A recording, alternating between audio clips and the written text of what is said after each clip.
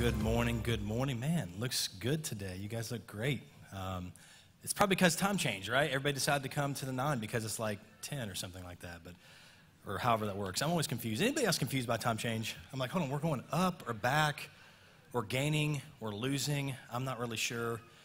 My iPhone changes it for me, so no difference to me whatsoever. I do not feel like I had an extra hour. I don't know about you, but just feels the same to me.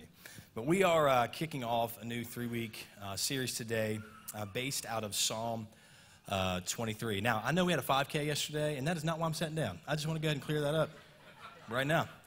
Uh, this was pre planned, so, um, but I'm kind of glad that I'm sitting down for a little bit, so that's good. But if you have brought your Bibles today, uh, I want to encourage you to bring your Bible for the next three weeks because that's where we're going to be for the next three weeks, just looking at Psalm 23 and what it has for us. There's so much in Psalm 23, and it's likely uh, one of the most read and quoted passages of Scripture in history. Uh, it really, really is. And it's, it's simplistic, yet it's, it's complex. It is, a, it is a psalm of light and life, but it's also a psalm of valley and darkness. It is a psalm that describes the nature of God, but also the need we have for him. It's, it's written by King David, who was an experienced man, to say the least, a man uh, with plenty of life experience, but also he was empowered by the Spirit to pen the words of possibly the most famous uh, Old Testament scripture in history. So let's look at Psalm 23 today. We're going to read it through in its entirety. And this is, this is kind of a side challenge that, that I want to give just the church overall is to, for the next three weeks, every day, I mean, it takes like I don't know, it takes like maybe 25, 30 seconds to read through uh, Psalm 23, maybe a minute. Um, I want to encourage you to read that psalm every day and, and say almost like a prayer. And, and whether you have already memorized that, because a lot of people that possibly grew up in church, you memorized that already, or you at one, once upon a time you did. Uh, but I think everybody could grasp a hold of this psalm in the next three weeks and memorize that and, and go to that as really a well for you in your life because uh, just over the past couple days, I, I, I, knew it already, but over the past couple days of going over it, um, it's interesting how when you read Scripture and you think on Scripture, you pray on Scripture, uh, that there's just this calming peace that settles upon you uh, in, in the moments of the Scripture. So I want to encourage you to do that. I've experienced that. I hope you experience that as well as you read over Psalm 23. But if you're ready to get into it, let's say amen. amen. All right, Psalm 23, it says, The Lord is my shepherd, I shall not want. He makes me lie down in green pastures. He leads me beside still waters. He restores my soul. He leads me in the paths of righteousness for his name's sake. Even though I walk through the valley of the shadow of death, I will fear no evil, for you're with me, and your rod and staff, they comfort me. You prepare a table before me in the presence of my enemies. You anoint my head with oil, my cup overflows. Surely goodness and mercy shall follow me all the days of my life, and I will dwell in the house of the Lord forever. Let's pray. Father, thank you so much for your word. Uh, I pray today that you would open our hearts and our minds to it. I pray that we would learn more of who you are. May we understand more of our need for you. And I, I pray, Lord God, that truly you would anoint your servant to speak your word. May speak, speak nothing more, nothing less only what you would have him to speak today in Jesus' name. Amen and amen. Well, I want to be very clear about the goal for this series. The goal is simply this to learn more of the nature of God and also to learn more of our need for Him. If you're taking notes, that is simply the goal of the series uh, to understand and know and learn more of the nature of God and to learn more of our need for Him. The book of Psalms uh, uses a lot of imagery. If you're familiar with Psalms at all, you realize there's so much imagery in the book of Psalms. And Psalm 23 is of no, no exception. Its focus is the shepherd. It's on the shepherd and the sheep of his pasture. I always think it's, it's important as you're looking at Scripture to kind of look at the characters and look at what, what's the main characters of the text. And with Psalm 23, it's simply the shepherd and the sheep of his pasture. Um, I truly do believe that when you look at Psalm 23, the goal that we've already stated is the goal of the text to help us, his people, to understand his nature and his heart toward us. Because the, the, the, shepherd we're talking about here, it's not talking about me or a pastor, it's talking about It's talking about God. Okay? It's, it's not talking about us. We are the sheep. Okay? We're, we are the ones that need led. Amen. We are the ones that need guided. We are the ones that need direction in our life. And so I, I think those two main things really stick out to me as I read Psalm 23 His nature and our need for Him. And I really do believe this is important. And I've heard people say this throughout the years, and it's a statement that stuck with me truly is that how we view God and how you view God determines the direction of your life. How many have heard that before? Like, how you view God, it will determine the direction of your life. What you think about God, who you think He is. But I want to take it a step further today and say, how you think God views you determines the demeanor that you carry in life. Does that make sense? Like, how you view God is so important. That determines direction. But how you think God sees you, you see, all of us today, we're sitting here, we think God sees us a certain way. We, we think God has certain thoughts of us this morning. Maybe some of you, you're all bummed out about what God thinks about you, or, or you, you don't think enough of, of who you are as a creation in Christ Jesus, a new creation in Christ Jesus. I really do believe that Psalm 23 will help us to understand uh, not only who God is, but also help you understand who you are and what He thinks about you. You can, you can tell a lot about a person with how they think God views them. You know, I've, I've met a lot of Christians, and it's very common for Christians, including myself, to have this idea that God is always upset with us. You know, he's always, he's always out to get us. He's always ready to, to come down on us. And you know, the fact of the matter is, God wants to lead us. God wants to guide us. God wants to direct us into these things he's talking about in this text. And that's what we're going to do today. We're really going to just break down uh, today the first three verses in Psalm 23 and uh, focus on just those today. So let's just take a look at verse 1. Let's check out verse 1 which is so vitally important as we move on to the rest of Psalm 23, says, The Lord is my shepherd. The Lord is my shepherd. So, just that first line of Psalm 23 tells us so much. It, it tells us, number one, that He's Lord. And, and this is so important. He's not just Savior, He's Lord. Lord. It also tells us that He is shepherd.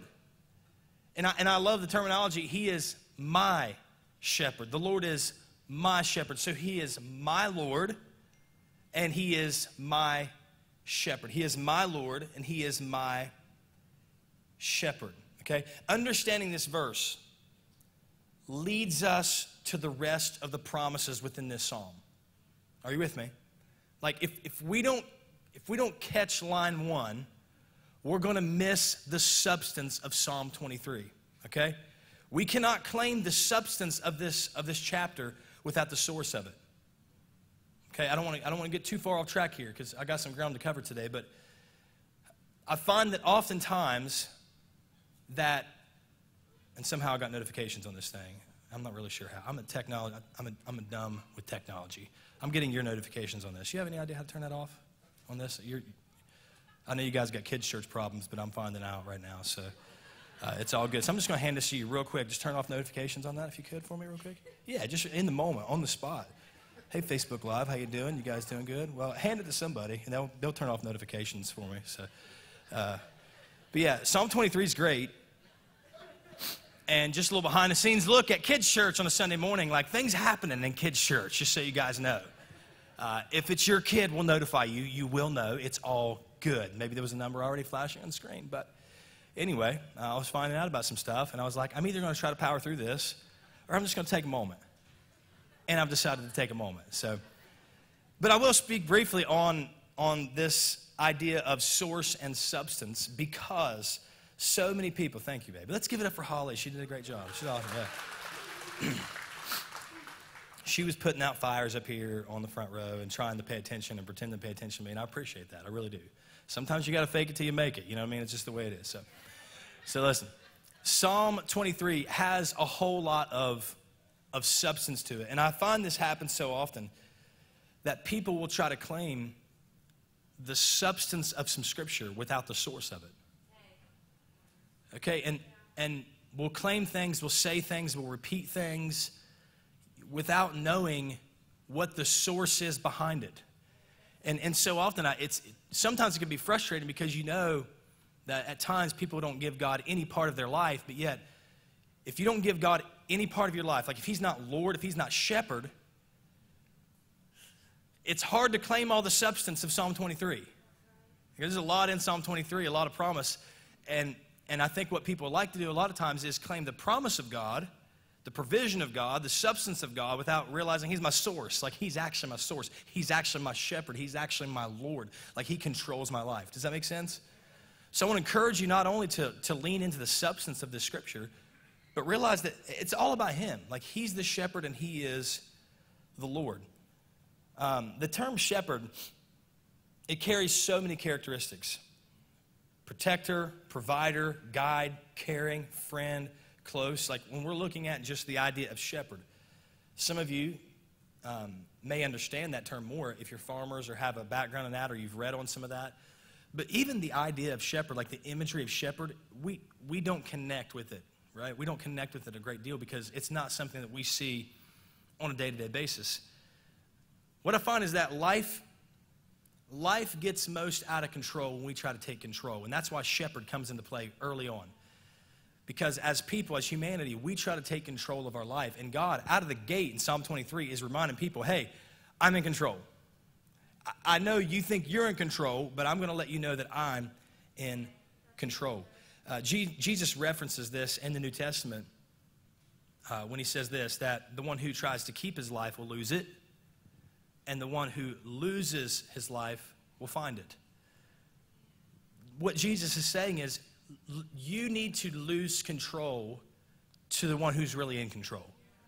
Like, don't just totally lose control and give up all control. No, give the control over to the one who can lead you, to the one who can guide you, to the one who is ultimately in control of your life. Surrendering to the care of the shepherd is the safest place to be. I mean, sur- surrendering to a God who is greater than us, who is all knowing, who is all powerful, that is the safest place to be. Sometimes people think that if they take control of their life, well, I got it, I know what's happening. How many of you know that we can never really take control of our life? One thing, one moment, one accident, one change in our day, it can totally destroy the idea that we're in control. One thing can totally revolutionize and even, I want to say, wreck your life if you feel like you're in control. How many know what I'm saying? He goes on to say, I shall not want. The Lord is my shepherd, I shall not want. In the shepherd's care, in the shepherd's care is the only place we can really find contentment. Man, isn't contentment lacking in our current day and age, right? Contentment, just to be at ease. And this, this speaks of more than our position and our, our possession of life. Please hear me that, that David was a wealthy individual, beyond wealthy, beyond wealth that any of us will, will ever know or imagine. He had everything a man could possibly want, but at times in his life, when he tried to take control, even with all his stuff, he was out of control. So David was obviously not speaking of a possession or position in life. He was speaking of something greater than that. He was speaking of somebody he had surrendered to. To say the statement, I shall not want, this speaks of more than possession and position in life. David was, was not referencing his wealth, um, he was not referencing the place he was actually setting. He was referencing a place where his soul was satisfied. I'm not sure if you've experienced this. I'm sure that many of you have in this room. But been to a place in your life where maybe all was well or all was breaking down, but yet you were in a place where your soul was satisfied. And when, I, when I'm talking about a moment, I think that's the moment I'm talking about. Just, just briefly, even this week as I was going over this psalm, I just had a moment where my soul felt truly satisfied in the psalm. And we come and go out of that. Do you know what I'm saying? Like we, we come and go out of that in life. Like we can be focused. We can be focused on the fact that the Lord is my shepherd, I shall not want, and we feel a moment of contentment, and then boom, something happens to kind of snap us back into reality. But here's the truth I believe that we can live in the reality of contentment. We can live in the reality that we shall not want. That whether we have all of our needs met or, or they don't feel like they are, we can truly be content in this life. The sheep in the care of the good shepherd, they don't have to worry about tomorrow. How many have ever worried about tomorrow? Anybody at all? How many have ever lied? If you didn't raise your hand last time, then you raise your hand this time. so we're all here together today now. So, you know, everyone worries at some point in life about something. But the sheep in, in the care of the good shepherd, they don't worry about tomorrow. And I love this, this quote as I studied this week um, from a well known rabbi. He stated this Worry is dealing with tomorrow's problems on today's pasture. Worry is dealing with tomorrow's problems on today's pasture. Which, which leads me to the next statement in the psalm. It speaks of green pastures. He said, He makes me lie down in green pastures. Again, this is imagery that is probably off for a lot of us, including myself. I mean, I know, I know nothing about sheep, and I know nothing about pastures. Um, so it's interesting to me when I'm looking at this text, I know there's so much in it that he, he makes me lie down in green pastures. And when you think of green pastures, you probably just like me, you think of, you know, uh, images of the rolling hills of Ohio, you know. Maybe you're driving out to Athens and you're seeing this, these hills in the distance, sun kissed on the top. Or maybe you're thinking about the well watered valleys of, of West Virginia where they're green and lush and uh, they look pretty. But the truth of the matter is, we need to consider the places that David roamed. We need to consider the places that David uh, went to, where he was. And actually, I have a picture this morning of, of possibly some of these places that David went to and what it looked like. Now, that doesn't look too green to me. Does it look green to you? If it looks green to you, your eyes might need checked. It's okay. Um, sometimes we need glasses, and that's fine. Sometimes we're colorblind, and that's okay too. You need to get that checked out. This is pretty brown. All right, now, historically, many pastures that they would graze and go to would look somewhat like this. It was, it was a lot of space and distance in between uh, the green pastures. Thank you guys uh, for that. But I wanted to give you an image of that because it, kind of it kind of makes us now ask questions. Okay, where's these green pastures that I'm laying down at and, and we're having a good time? Because that doesn't really look like a green pasture to me. You know, that picture changes the dynamics of how we read this text. Okay? The shepherd and the sheep they were they were always moving right? They're always going across these areas. And sometimes if you look at these these mountains and these different places you'll see these lines cut in the hillsides. And this is where sheep would go across. And the shepherd would lead the sheep back and forth into one pasture into another pasture. And what would happen even in a dry season a lot of times whether it be the dew from the night um, would would fall. Even if it didn't rain, it would gather near the rocks, gather near these crevices and places, and these little sprouts or sprigs of grass would, would pop up, right? And that's where the shepherd would lead these sheep to. And once they were done grazing in that area, then the shepherd would lead them on to another area where this water would collect and where they would, where they would graze, and then they would move on. So there's this, there's this constant moving, right? There's this constant moving. But when you found the green pastures, you were at a place of peace you were at a place of rest. And guess what? You weren't thinking about the green pastures over here because you probably couldn't see them anyway, but you were thinking about where you were in the moment. And man, don't we need to live like life like that a little bit more? Like a little bit more in the moment. And I think that's what that rabbi was saying when he said, hey, we, we try to, to think too much about the pastures tomorrow, and we, we have enough, enough issues today, right? Just focus on what is right in front of us. Focus on what's in front of us. Uh, the shepherd and the sheep. The sheep grazed on the goodness of the shepherd's leading. This psalm is all about the shepherd's leading. And for the sheep to graze, they had to be led by him, right? They, they couldn't see it, they didn't know where to go. That's why we need direction in our life. If, if you think that you can navigate life on your own, you're going to find out quickly that it's not possible. There's always turns, there's always ups, there's always downs where you didn't know it was going to come. You didn't know it was going to happen. And I believe that is the, the, the difference between the life that is led by the Good Shepherd and the life that is led on our own. Because when we experience hurt, when we experience pain, when we experience triumph or tragedy or whatever it might be, we can't necessarily handle it, but we can if God is with us. And that's why I believe that people experience uh, even death differently when they have the Good Shepherd because they realize there's someone who cares for my soul. There's someone who is leading me, there's someone who is guiding me and directing my life. One expert on shepherding, shepherding wrote that sheep do not easily lie down unless they're free from fear, friction, flies, and famine. Sounds like me, probably like you too, right? And it, it is funny because we are a lot like sheep. We really are. Okay, I'm not calling anyone dumb today. I'm just saying that sometimes we can be close to being dumb sometimes in our life. That was such a political answer. You can be dumb sometimes. Right? We can all be a little dumb. We, we, all, we all truly need led by someone greater than us. What I've found about humanity is that give it over to ourselves, we do a lot of dumb things. And sheep are skittish, sheep are fearful. If there's friction, even, even in the midst of the sheep, if there are flies, if, if they're hungry, sheep do not want to lie down in green pastures.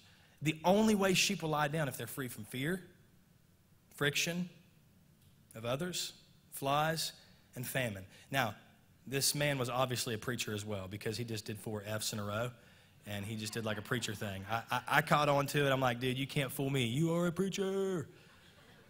Fear, friction, flies, and famine. But we're a lot like that, aren't we? Like, we're not, we can't be at ease and rest in green pastures if we're fearful. Some may not be here today because of fear. Some may not be here today because of friction. Some may not be here today because of of flies, of things that are bothering them in, in, in, their mind, in their heart. Some may not be here today because of, of famine. They're just so dry and thirsty, they don't even know where to go or what to do. That is why we need to submit and surrender to the shepherd. And, it, and how many of you know it can change from one day to the next? This is why being led by God is a daily thing. I have found that I can have an incredible Sunday, and man, my Monday can be really messed up. How many know I'm talking about? And like you can feel close to God, or maybe there's a moment in His house, a moment in His presence with His people, and then, man, something happens Monday where you, you feel pretty far away from God. This is why it's so important, and I want to challenge you to even read this psalm daily to understand that, man, I am in the care of the good shepherd.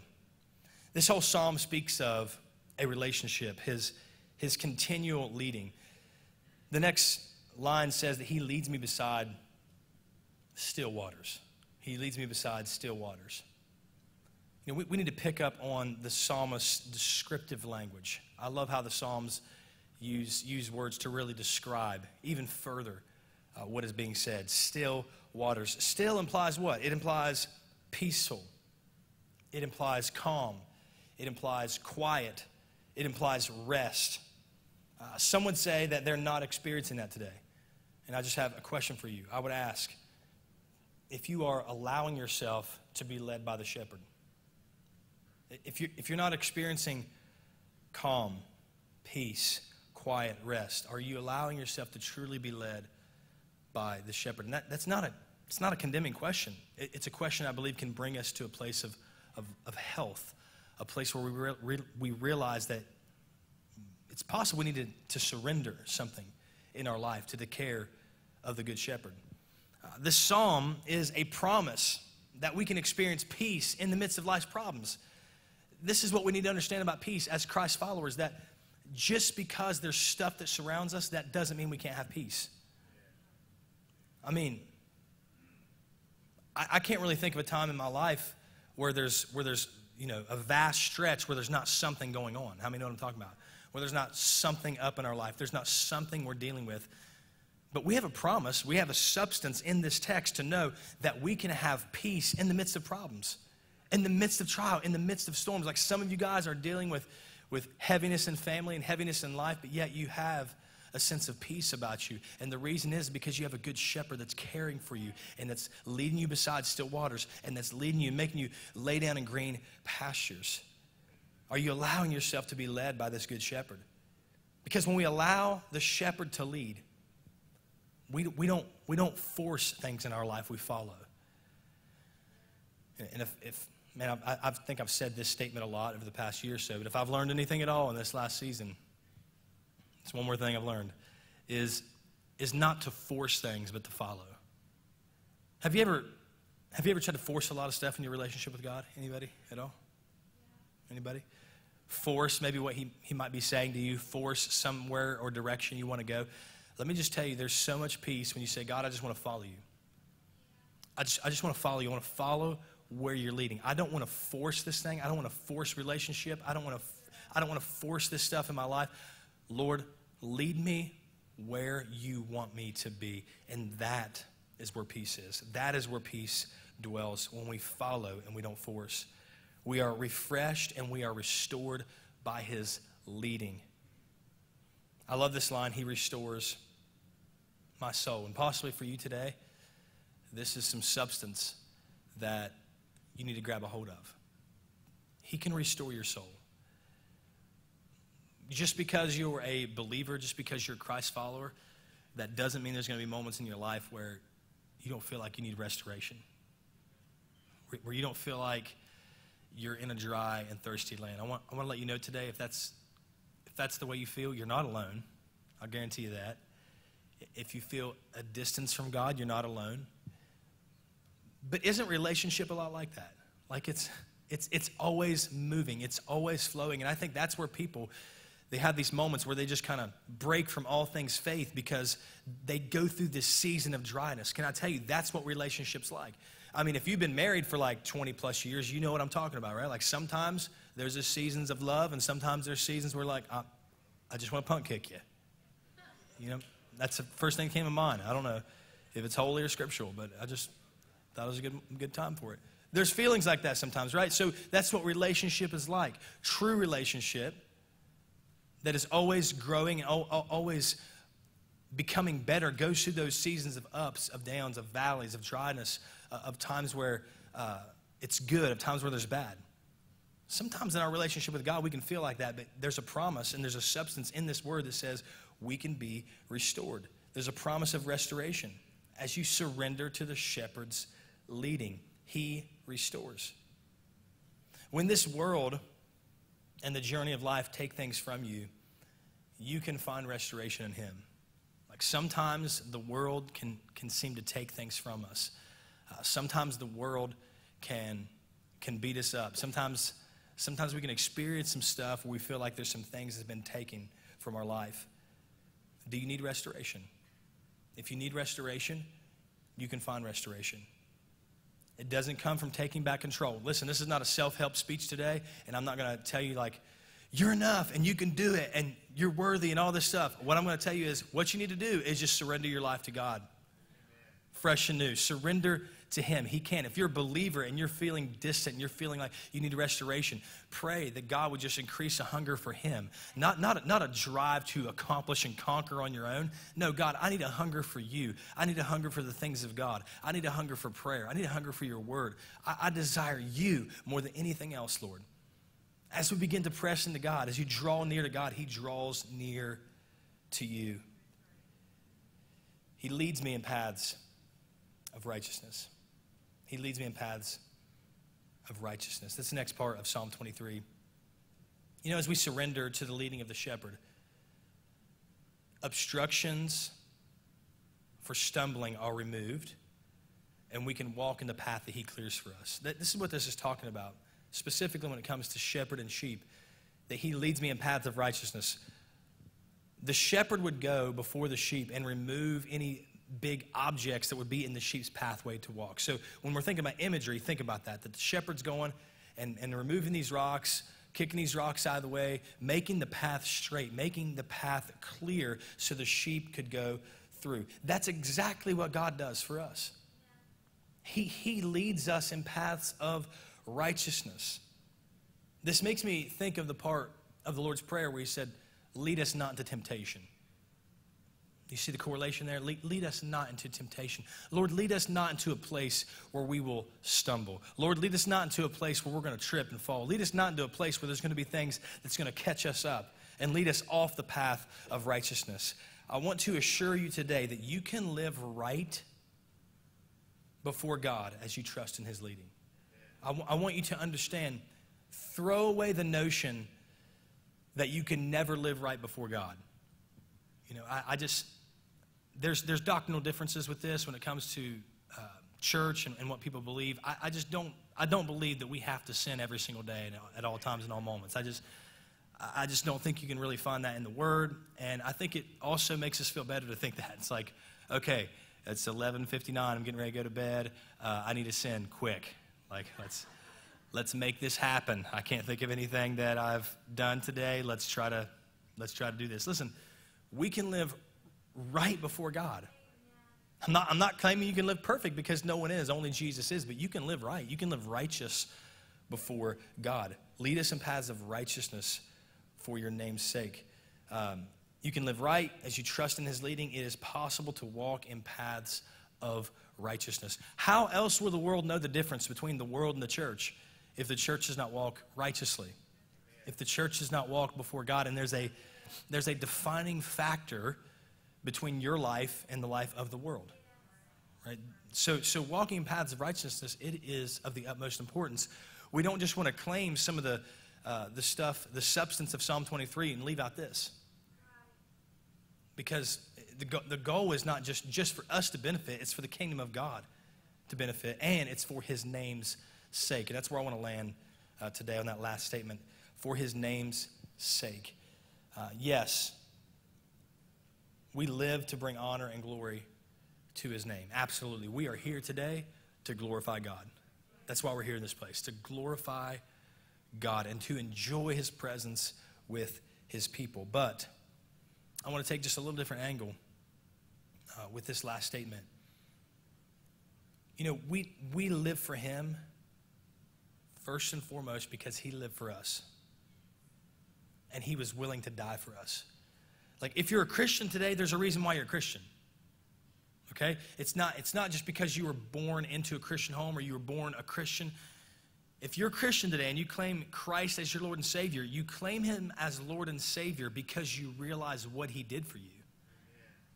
You, you realize that Jesus Christ went to the cross and, and He took your sin and your shame and he, he hung and bled and died on the cross for you and for me for our sins. And then he rose again, indicating that he conquered death, hell, and the grave and our sin forever and all time. That's the gospel. That's, that's the good news. But guess what? That, that's why you follow him. Because you have that awareness. I, I became a Christian because I had an awareness that I was sinful and that I needed that sin taken care of in my life. And there was only one way to do that, and that was to surrender to the one who was sinless Jesus.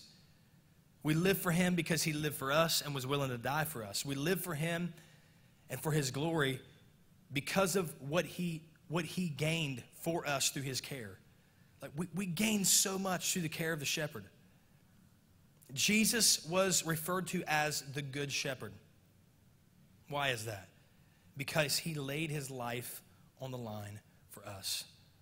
He, lay, he laid his life on the line for us. This, this psalm this psalm has so much for us. And if we could just get verses 1 through 3, I truly believe it would revolutionize our, revolutionize our life, realizing that we have a shepherd and he cares so much for us that he laid his life on the line. You know, that's what a good shepherd does. Yeah. You know, as John, as John 10 uh, tells us about the good shepherd, we see what the good shepherd really does. The, the Old Testament prophecy, if you will, of Psalm 23 is really about Jesus. We see this in John 10, 11, and 15. He said, I am the good shepherd. I want you to get this about Psalm 23. David starts out, he, he never refers to himself as the shepherd. He says, The Lord is my shepherd. It's important. The Lord is my shepherd. And David is taking the stance of a sheep. David, David is taking the stance of, okay, the Lord is my shepherd. Okay, so because he's my shepherd, I shall not want. Do you see that? But then Jesus comes in in, in John 10 and he says, I am the good shepherd. So he, he's letting the world know hey, hey, hey, I'm the Lord. I'm the shepherd. And then he goes on to describe his nature. I, I, I love the nature of Jesus. He goes on to say, the good shepherd, myself, lays down his life for the sheep. That's what a good shepherd does. These, these are the reasons why we follow him. That the good shepherd laid his life down for the sheep. He goes on to say, He who is a hired hand and not a shepherd, who, who does not own the sheep, he sees the wolf coming. How many know there are wolves in our life? The Bible says that the enemy would love to steal, to kill, and to destroy. But if we have a shepherd, this hired hand leaves the sheep and he flees. And the wolf snatches them and scatters them. He flees because he's a hired hand and he cares nothing for the sheep. And again, he states, I am the good shepherd.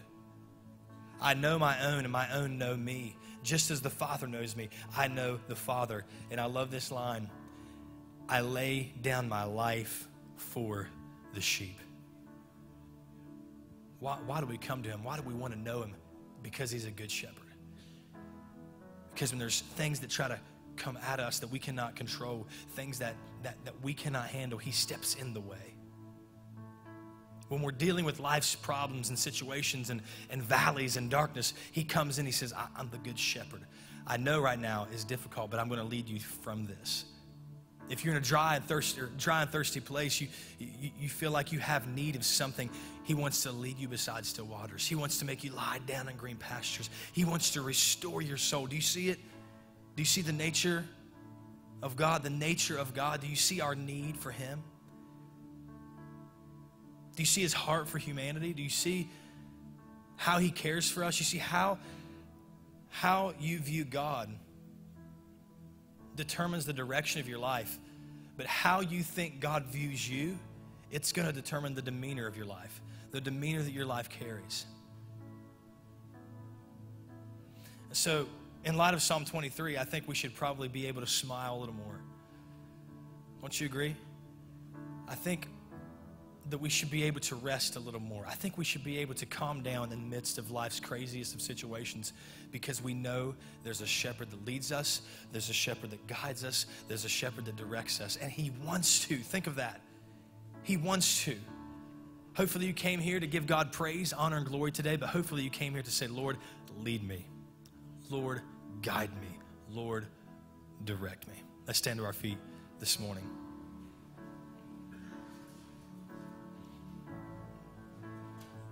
I'm excited about Psalm 23, uh, and, and I, I really do believe this that beyond, beyond Sunday morning, because how many know there's, there's so much more to the Christian life beyond Sunday morning? Yeah. Beyond Sunday morning, I'm going to be I'm going to be praying for our church, praying for you as you're as you're reading Psalm 23, that we would truly just take it on, just just truly understand all of the substance that it has for us. I'm going to be praying for some of your restoration. I'm going to be praying for some of you who have feel distant and dry and thirsty. I'm going to be praying for just nourishment and life to flood in your soul. I'm going to be praying that um, we're, we're going to see just health arise in this church. Spiritual health arise in this church, physical health arise in this church, emotional health arise in this church as we together collectively, as we give ourselves to what He's given us. It's a gift. Like His Word is a gift. Begin to pray, God, give me a hunger for your word. Give me, give me a hunger to pray, just to have a moment with you, God. Beyond anything else, may I hunger for you above and beyond everything, Lord. Father, today I thank you so much. Thank you for your people. Thank you for being able to come together and, and, and read your word today. I pray that we would understand it more. We would understand our need for you. We'd understand your nature truly do pray today that you would lead, guide, and direct us. If there's, if there's someone here today that doesn't know you, God, I pray that just this text, this message, has helped them to understand how much you care for them. And if you're here today, you don't know Jesus, and you want to, just pray even right now. You can say, Lord Jesus, I need you. I need you. Save me. Make me new believe upon the Lord Jesus Christ, confess with your mouth, and believe in your heart that Jesus Christ is Lord, and you will be saved. Father, I pray that you would lead, guide, and direct, and you would draw people closer to you this morning. Draw those who may not know you close, and draw the believer close today. I pray we'd find encouragement, we'd find strength, we'd find comfort in you, Lord Jesus. We give you all praise, we give you all honor, we give you all glory today. It's in Jesus' mighty name we pray. Amen and amen.